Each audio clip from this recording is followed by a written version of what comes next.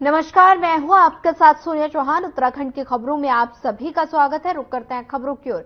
यमुनोत्री के निर्दलीय विधायक संजय डोभाल ने जिला पंचायत पर अवैध तरीके से वसूली का आरोप लगाया। देश विदेश से आने वाले श्रद्धालुओं से इको टूरिज़्म के नाम पर अवैध तरीके से वसूली की जा रही है और सुविधा के नाम पर कोई भी काम नहीं किया गया।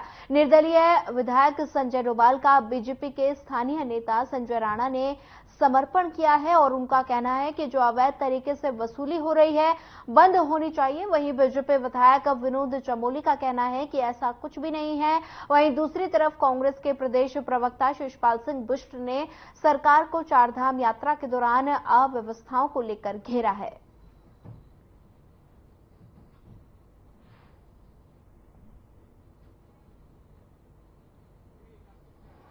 राष्ट्रीय राजमार्ग पालीगाड़ में जिला पंचायत के द्वारा जो बैरियर लगाया गया था और यमुनोत्री के बहुत ही लोकप्रिय विधायक आदरणीय संजय डोभाल जी ने उस बैरियर को हटाने का बहुत ही सराहनीय कार्य किया है। माननीय विधायक जी का मैं बहुत बहुत धन्यवाद करना चाहता हूँ, साधुवाद करना चाहता हूँ। और मैं जिला पंचायत से पूछना चाहता हूँ, आखिर पालीगाड़ में आपको बैरियर लगाने की आवश्यकता क्यों पड़ी?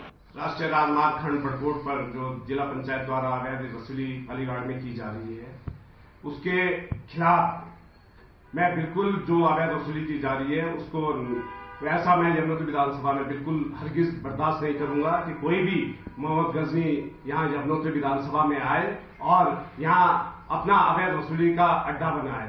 क्योंकि जिला पंचायत द्वारा हर साल यमुनोत्री धाम से जहाँ की हमारे श्रद्धालु तीर्थाटन के लिए आते हैं पाँच छह करोड़ रुपए वसूले जाते हैं। देखिए, संजय जी ने जो बात कही है किस कारण से कई है, क्या वहाँ पर उनको अव्यवस्था नज़र आई? तो वही ज़्यादा स्पष्ट कर सकते हैं, लेकिन मैं ये कह सकता हूँ कि यात्रा अपने पूरे रोज पर है और आज की तारीख में छब्बीस हज़ार से अधिक लोगों ने, अभी तक छब्बीस लाख से अधिक लोगों ने पंजीकरण करा लिया है। और ये रिकॉर्ड तोड़ यात्रा होने जा रही है। तो सरकार भी पूरी तरह मुस्तैद है कि जो भी व्यवस्था हमको जुटानी हुई, हम जुटा रहे हैं। पहले भी हमने जुटाई है। अगर यहाँ, वहाँ कोई कमियाँ रह गई है तो निश्चित सरकार को अब उन्होंने कहा है तो सरकार को अवगत कराया भी होगा और इसको भी दूर किया जाए। पिछले वर्षों की तरह अव्यवस्थाएँ ना हो, इसके लिए कांग्रेस पार्टी ने प्रदेश सरकार को जो है कई बार चेताने का काम किया, लेकिन प्रदेश सरकार जो है पिछले वर्षों की घटनाओं से सबक लेने के लिए तैयार नहीं। इस बार जैसे ही चारधाम यात्रा की शुरुआत हुई, पहले दिन ही जो है व्यवस्थाएँ लड़खड़ा गई। यमुनोत्री में पैदल मार्ग में जिस तरीके से जो है तीर्थ यात्रियों का जन सैलाब उमड़ा उस पर जो है नियंत्रण पाना कठिन हो गया और हज़ारों तीर्थ यात्री बिना दर्शनों के ही वापस चलेंगे। इससे प्रदेश की छवि ही खराब होगी, क्योंकि अगर श्रद्धालुओं को कटु अनुभव होंगे तो इससे निश्चित तौर पर जो है अच्छी बात नहीं।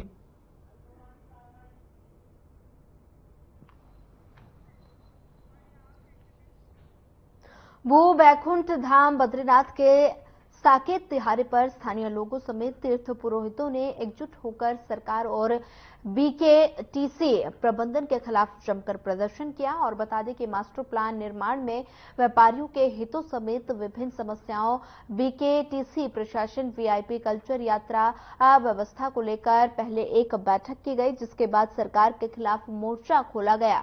और इस दौरान प्रदेश के पर्यटन मंत्री सतपाल महाराज के बद्रीनाथ धाम पहुँचने की खबर के बाद धरना प्रदर्शन कर रहे बद्रीश संघर्ष समिति के लोगों ने सतपाल महाराज के खिलाफ भी जमकर नारेबाजी की। बद्री विशाल भगवान के दर्शनों के बाद वापसी के दौरान सतपाल महाराज साकेत तिहारे पर धरना प्रदर्शन कर रहे हैं।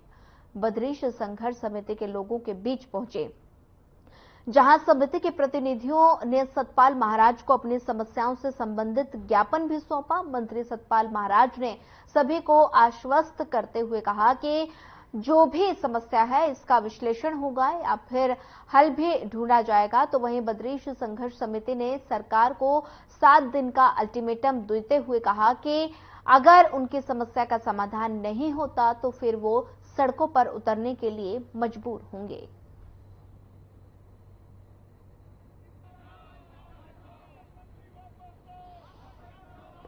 आपके सबसे ऊँचे स्तर तक इसको ले जाएँगे। और निराकरण जो है, इन समस्याओं का, उनका विश्लेषण करेंगे, उसका एग्जामिनेशन करेंगे, उसके बाद उसका निदान ढूंढेंगे। आपका कॉपरेशन हमें चाहिए। इस समय यात्रा चल रही है। ये हमारे उत्तराखंड का ब्रेड एंड बटर है। हमारे उत्तराखंड की जो अर्थव्यवस्था है, उसका मेरुदंड है। तो इसको चलने देंगे। पूरा आपका सहयोग हमको चाहिए। और जो भी यहाँ समस्याएँ हैं, आपकी समस्याओं का निदान करेंगे। ये बहुत बड़ा परिसर बन रहा है। और जिसमें काफ़ी लोगों का इसमें आना होगा, यहाँ की कैपेसिटी बढ़ेगी और भी सब कुछ होगा। इससे आप देख रहे हैं, जिस प्रकार से चल रहा है, हम देख रहे हैं पूरा अभी विश्लेषण करके आए। तो निश्चित रूप से हमारे मुख्यमंत्री धामी जी भी इंटरेस्टेड है। उन्होंने मुझे कहा, भाई, आप जाकर के लोगों की समस्याओं को सुनिए, उनके प्रतिवेदन को लाइए। तो सारे प्रतिवेदन उनको प्रेषित किए जाएँगे। उत्तराखंड में चारधाम यात्रा के दौरान प्रदेश सरकार की ओर से सभी प्रकार की सावधानियाँ बरती जा रही हैं। देश विदेश से आने वाले तीर्थयात्रियों के स्वास्थ्य की सरकार को चिंता है तो वहीं दूसरी तरफ़ यात्रा मार्ग पर तीर्थयात्रियों की सहायता के लिए लगाए गए घोड़े खच्चरों को स्वास्थ्य लेकर भी कैबिनेट मंत्री चिंता जता रहे हैं। और साथ ही बता दें कि उत्तराखंड के पशुपालन मंत्री की ज़िम्मेदारी निभा रहे हैं। सौरभ बहुगुणा ने कहा कि चारधाम यात्रा का जो क्षेत्र है, वो काफ़ी दुरुस्त और दुर्गम क्षेत्र है। आपने देखा है कितना क्षेत्र जो है वो हमारा बहुत ही दुर्गम क्षेत्र है, जहाँ पर जहाँ पर ये सारी यात्राएँ चल रही केदारनाथ जी हो गए, यमुनोत्री धाम हो गई, गंगोत्री धाम हो गए, हेमकुंड साहिब हो गया। तो जो बहुत एजेड लोग हैं जो यात्रा में आ रहे हैं, उनको कहीं ना कहीं हम पूरी कोशिश कर रहे हैं कि उनको हेल्थ चेकअप कैम्प और एडवाइजरी भी हेल्थ विभाग की तरफ़ से दी गई है कि अगर आप अस्वस्थ हैं, अगर आप अगर आप हाइट पे जाने में असक्षम हैं, अगर आपकी ऑक्सीजन लेवल लो है तो आप इस यात्रा का अवॉइड करिए। लेकिन लोगों की श्रद्धा इतनी है इन चारों धाम को लेके इतनी सजा है कि वो अभी तक वो वो फिर भी आना पसंद कर रहे हैं। देखिए, जो डेथ हुई है, वो दुखद है लेकिन कोई भी, जैसे आपने बोला, अभी तक चार डेथ हुई है, चार दिन यात्रा शुरू हुई है, लेकिन आप ये भी देखिए कि लाखों श्रद्धालु भी आए हैं। चारधाम यात्रा अपने चरम पर है, जिसे लेकर स्वास्थ्य विभाग एक्टिव मोड में काम कर रहा है। वहीं ऋषिकेश से लेकर चारधाम यात्रा के सभी मार्गों पर स्वास्थ्य विभाग की टीम के ज़रिए यात्रियों की स्क्रीनिंग की जा रही है। और इस बात को लेकर उत्तराखंड के DG health doctor Vinita Shah ने कहा कि सभी चारधाम पंजीकरण केंद्रों पर हमने यात्रियों के लिए स्क्रीनिंग सेंटर बनाए हैं। और साथ ही उन्होंने कहा कि मुख्य रूप से 50 साल से अधिक उम्र के लोगों की मुख्य स्क्रीनिंग की जाएगी और इसी के साथ बीते साल करीब साढ़े सात लाख यात्रियों की स्क्रीनिंग की गई थी।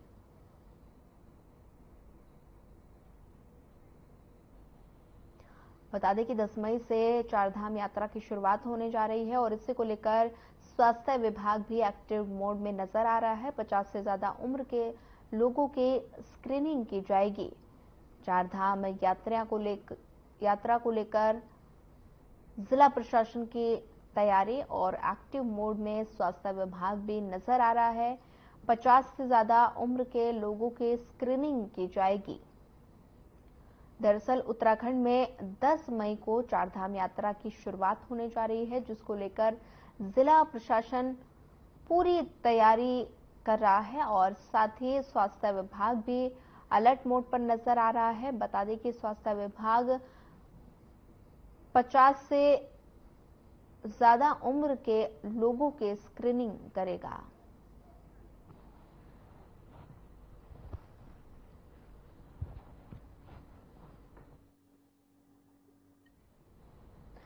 सरल, सुगम और सुव्यवस्थित चारधाम यात्रा के लिए प्रशासन पूरी तरह से एक्टिव है तो वहीं सीएम पुष्कर सिंह धामी के निर्देश पर तीन वरिष्ठ आईएएस अधिकारियों को ज़िम्मेदारी दी गई है।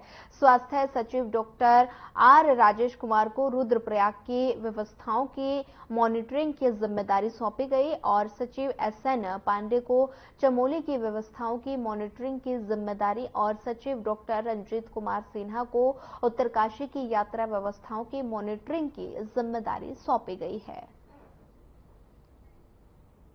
अलग अलग जिलों की सौंपी गई ज़िम्मेदारी और साथ ही चारधाम यात्रा को लेकर प्रदेश सरकार एक्टिव मोड में नज़र आ रही है और तीन आईएएस अधिकारियों की ज़िम्मेदारी सौंपी गई है। अलग अलग जिलों की ज़िम्मेदारी सौंपी गई है।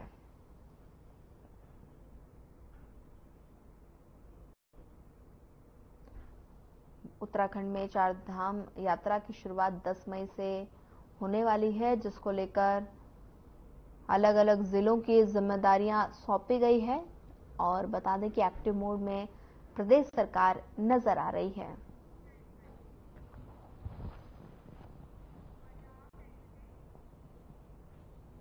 चारधाम यात्रा के शुरुआती दौर में ही तीन लोगों की मौत की खबर आई, जिसको लेकर सरकार सख्ते में दिखाई दे रही है। आनंद फानन में स्वास्थ्य मंत्री धन सिंह रावत ने अधिकारियों के साथ बैठक कर व्यवस्थाओं को दुरुस्त करने का निर्देश दिए और साथ ही हालाँकि स्वास्थ्य मंत्री धन सिंह रावत इस पूरे मामले पर सफ़ाई देते हुए दिखाई दिए और उन्होंने कहा कि तीनों मौतें हार्ट अटैक से हुई हैं। कोई भी व्यक्ति अस्पताल तक नहीं पहुँचा। हालाँकि उन्होंने 50 साल से अधिक उम्र के लोगों से ये अपील भी की है कि पहले लोग स्वास्थ्य प्रशिक्षण कराकर एक दिन वहीं रुकने के बाद यात्रा प्रारंभ करें और इससे अप्रिय घटना घटित ना हो।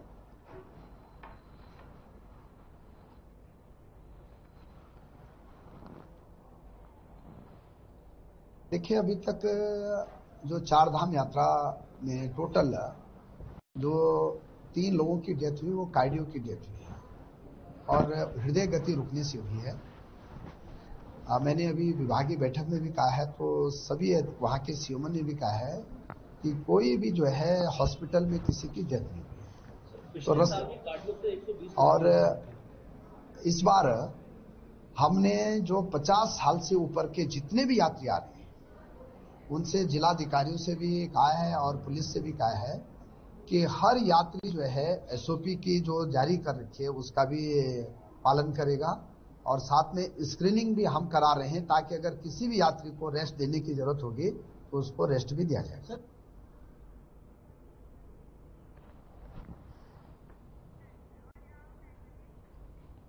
निकटवर्ती क्षेत्र बंगाली कॉलोनी के बीजेपी नेताओं और राधे राधे सेवा समिति के पदाधिकारियों ने विधायक मोहन सिंह बिष्ट के हल्दू चौड़ स्थित आवास पर पहुंचकर विभिन्न मांगों को लेकर ज्ञापन सौंपा और इस दौरान बता दें कि बीजेपी नेताओं ने विधायक मोहन सिंह बिष्ट से निवेदन किया कि राजीव नगर बंगाली कॉलोनी समेत आसपास के क्षेत्र में कहीं भी सार्वजनिक मैदान नहीं है। ऐसे में 25 एकड़ रोड पर स्थित एक फॉरेस्ट कंपाउंड, जिसमें तमाम धार्मिक, सांस्कृतिक, स्कूली बच्चों के कार्यक्रम आदि होते रहते हैं। ऐसे में इस ग्राउंड को सार्वजनिक मैदान घोषित कर दिया जाए तो क्षेत्रवासियों की समस्या का समाधान हो सकता है।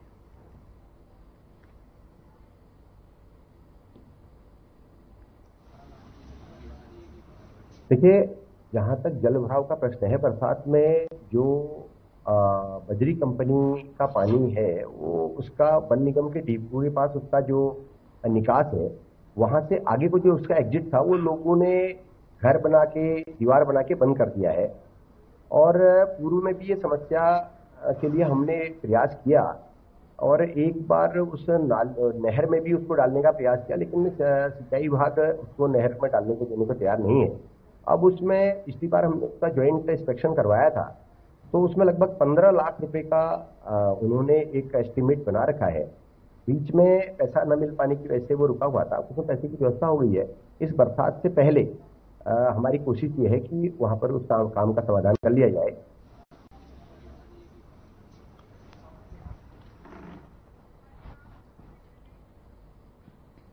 पीएम श्री योजना के तहत आयोजित कार्यशाला में शिक्षा अधिकारियों की अनुपस्थिति को होने पर डीजी शिक्षा बंशीधर तिवारी ने पाँच सीईओ और 12 बीईओ के खिलाफ कार्रवाई की और इस बात को लेकर डीजी शिक्षा बंशीधर तिवारी ने कहा कि पीएम श्री योजना में लगभग 230 स्कूलों का चयन हुआ है और जिन्हें आदर्श विद्यालय के रूप में स्थापित करने के लिए केंद्र सरकार की तरफ़ से फंड भी जारी किया गया। साथ ही उन्होंने कहा कि राष्ट्रीय शिक्षा नीति के अंतर्गत किस तरह सामंजस्य बैठाया जाए, उसके लिए कार्यशाला आयोजित की गई, जिसमें अधिकारियों की अनुपस्थिति होने पर कार्रवाई की गई है।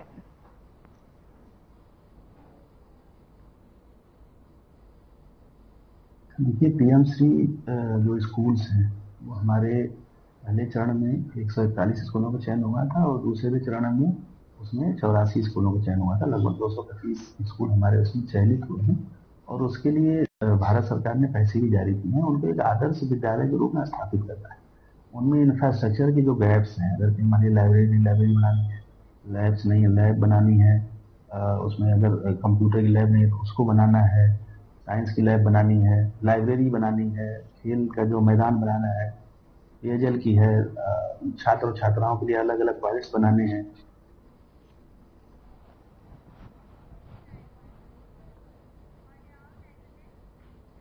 फर्जी क्रेडिट कार्ड देने के नाम पर धोखाधड़ी करने के मामले में उत्तराखंड एसटीएफ ने कार्रवाई करते हुए हरिद्वार के एक अभियुक्त को गिरफ़्तार किया और जिसके पास से छह मोबाइल फ़ोन, चौदह डेबिट कार्ड और एक ओपीएस मशीन, एक कंप्यूटर बैंक की पासबुक और लेन देन के रजिस्टर बरामद किए गए। एसएसपी एसटीएफ ने बताया कि गृह मंत्रालय के चौदह सी वेब पोर्टल पर क्रेडिट कार्ड और अन्य माध्यमों से लाखों रुपए की ऑनलाइन की 22 अलग अलग घटनाएँ प्राप्त हुई थी और जिस पर एसटीएफ ने हरिद्वार के रावली महदूद से चलाए जा रहे कॉल सेंटर पर छापेमारी की गई, जिसमें सेंटर को संचालित करने वाले मुख्य अभियुक्त की गिरफ्तारी की गई है।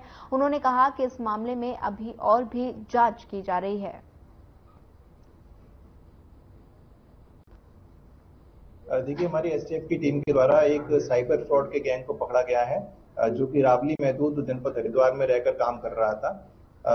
जो इसमें भारत सरकार के गृह मंत्रालय द्वारा एक प्रतिबिंब पोर्टल डेवलप किया गया है। उस पोर्टल की मदद से हमें कुछ जानकारियाँ मिली थी कि इस प्रकार का एक गैंग यहाँ पर काम कर रहा है। इसको हमने काम करते हुए, डेवलप करते हुए उसको पकड़ा है।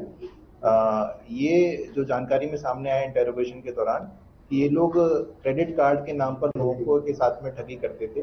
उनको कॉल करते थे कि भाई आपको हम फ्री क्रेडिट कार्ड किसी बैंक का उपलब्ध कराएँगे और उसके लिए आपको बेसिक डिटेल्स आपके भर के देनी होगी। एक फिशिंग लिंक इनको भेजा जाता था विक्टिम्स को।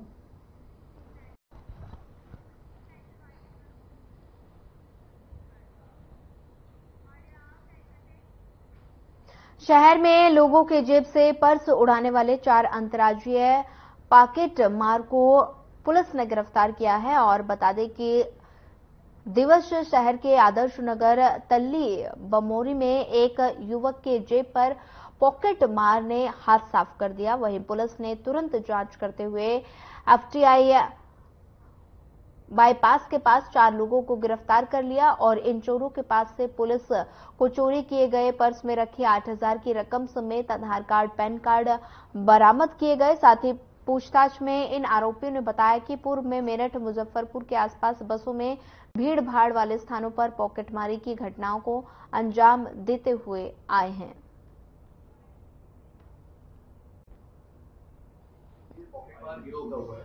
इस गिरोह में चार लोग हैं। सूचना आई थी, हमारे की बस में बैठ के आ रहे थे। कालू मंदिर के पास बस में उनकी पॉकेट मार दी गई थी। उसमें कैश था, उनके आधार कार्ड, पैन कार्ड, कुछ व्यक्ति हमारे मवाना था। एक मुरादाबाद के है और मुजफ्फरनगर का है, एक मेरठ का ये चार लोग हैं। इनका मोडस ऑपरेंडी ये रहता है कि इसमें दो लोग जो हैं, वो टारगेट जो होता है इनका, उसके ठीक आगे खड़े हो जाते हैं। और जो टारगेट है, उसके साथ एक व्यक्ति सीट पर बैठा होता है जिसके पीछे पीछे चलता है। ये चारों तरफ़ से कवर कर लेते हैं उसका पॉकेट मारने का काम करता है। तो इसमें इनके पास से कैश की रिकवरी हो गई है। अगला आपराधिक इतिहास आईसीजीएस पोर्टल जो हमारा इंटर ऑपरेबल सिस्टम है उसको कुंडा थाना पुलिस ने मुखबिर की सूचना के आधार पर कार्रवाई की है। वहीं बता दें कि लाखों रुपए की अवैध खैर की लकड़ियाँ जंगल से ले जाते समय घेराबंदी कर आरोपियों को पकड़ा गया, जिसके बाद पुलिस ने कैंटर को हिरासत में लेकर सीज कर दिया, जबकि जंगल की बरामद लकड़ियाँ वन विभाग को सौंप दी गई। कुंडा थाना प्रभारी निरीक्षक विक्रम राठौर ने इस मामले की जानकारी दी है।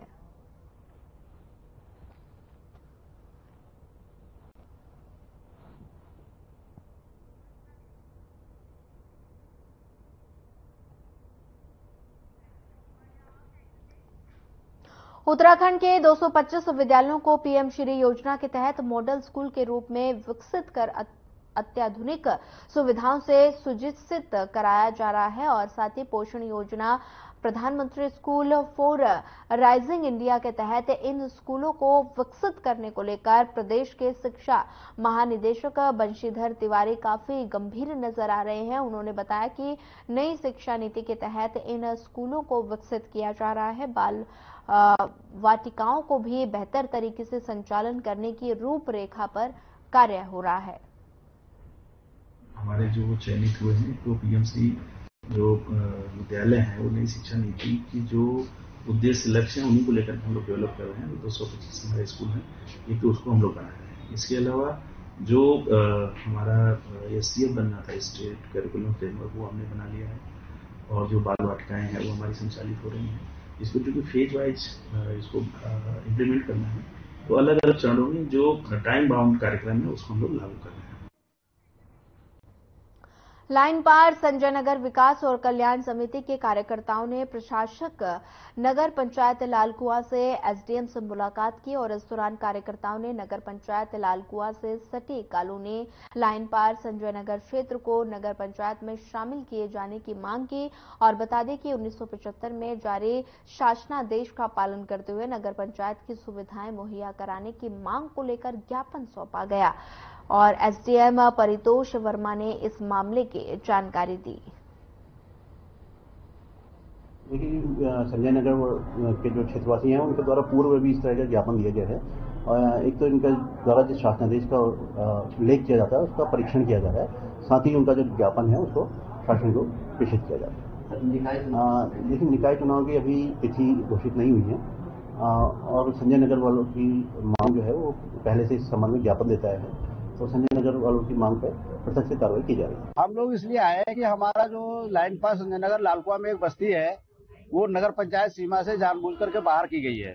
तो हम पुराने शासनादेश जिसमें राजस्व ग्राम घोषित किया गया था, उसके बिहाफ में हमने माननीय प्रशासक महोदय को ज्ञापन दिया है कि हम ऑलरेडी पूर्व से ही नगर पंचायत सीमा के अंतर्गत आते हैं। लिहाजा हमें नगर पंचायत सीमा के जो लाभ हैं, वो हमें दिए जाए, हमें हमारे हाउस टैक्स लगाए जाए हमें मतदाता सूची में हमारे नामों को शामिल किया जाए। इस संबंध में हमने माननीय महोदय को ज्ञापन दिया है। आपका नाम? मेरा नाम नसीर अहमद सिद्दीकी है।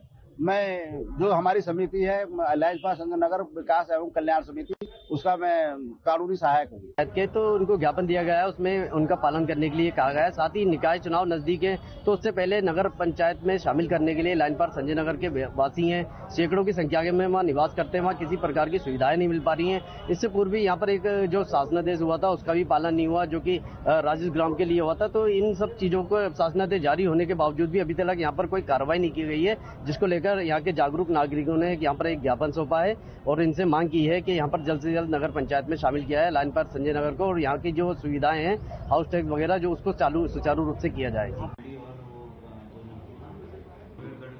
समिति के मुख्य केंद्रीय प्रभारी डॉक्टर साध्वी देवप्रिया ने शिरकत की। कार्यक्रम में योग गुरु रामदेव ने वर्चुअल माध्यम से महिलाओं को संबोधित भी किया और इस दौरान डॉक्टर साध्वी देवप्रिया ने कहा कि गांव-गांव और घर घर तक योग पहुँचाने के लिए समिति संकल्पित है और जिसको लेकर महिलाएँ भी अपनी भागीदारी निभा रही हैं। इस महिलाओं को एक तो सशक्तिकरण होता है। नाम से विदित होता है। अभी तक घर में महिलाओं को कमज़ोर माना जाता है। पुरुष लोग उनको आगे नहीं आने देते। हैं ये हम जो योग से जुड़े हैं, स्वामी हमें जो हरिद्वार से हमें प्रेरणा मिलती है स्वामी जी के सानिध्य में, हमारी दीदी जी, देवप्रिया जी के सानिध्य में तो हमें और शक्ति अब आज हम इतने सबल हैं, अब आप देखे रहे इतना बड़ा आयोजन हमने अपने आप कर लिया। हमने किसी पुरुष की सहायता नहीं किसी पूछा तक नहीं धन भी जो है आप इतने बड़े कार्यक्रम में कम से कम आठ, छह, आठ लाख रुपए हमारा लगे ही लगे तो हम अपने आप हमने अर्जित किया। दिवस है।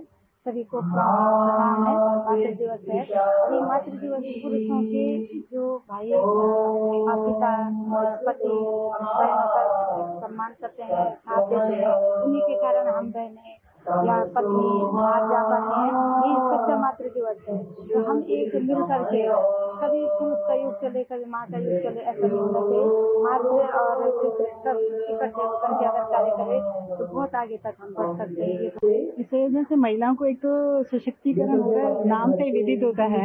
अभी तक घर में महिलाओं को कमज़ोर माना जाता है। पुरुष लोग